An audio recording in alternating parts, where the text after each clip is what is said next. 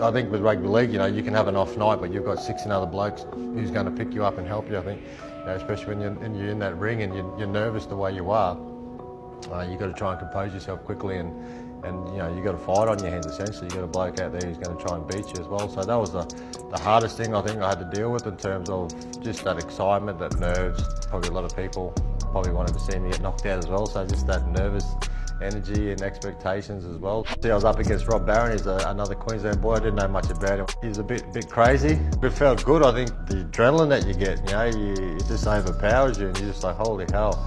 And I remember my corner just yelling out, just jab, jab, jab, and I was like, no, it's after jab. I'm just, I'm going to try and try and finish it here. Dropping him that three times felt good. I didn't really feel the punches, you know what I mean? Because just like everything just sort of takes over. And I remember just he was on the ground. I was trying to remember which punch I hit him with. I wanted to try and do the same thing.